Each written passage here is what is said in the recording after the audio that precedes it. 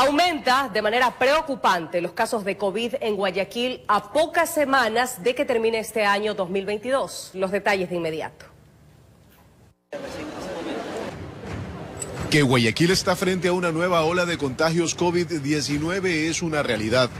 Por ello, desde el municipio hacen las evaluaciones necesarias, ya que los números están a la alza. Los contagios en las últimas semanas se han incrementado. Las autoridades municipales daban cifras oficiales. El incremento más fuerte se lo dio desde la semana 45 a la 48. En la semana 45 tuvimos aproximadamente 320 pacientes, ahora tenemos 1.820 pacientes, es decir, un aumento sustancial e importante. Que el Mundial de Fútbol y ahora los festejos por Navidad y fin de año serían las causas por las que existe mayor número de infectados.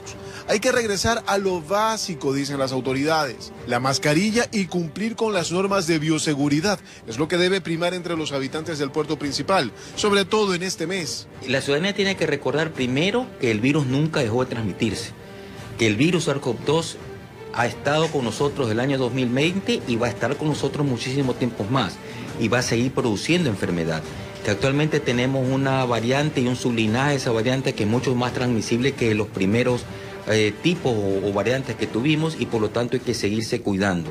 Aparte de todo, son varias las cepas que circulan en la ciudad, por ello cuidarse es indispensable.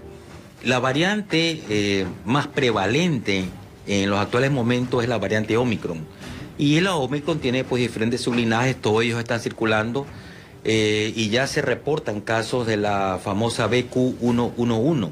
Informó Julio César Saona.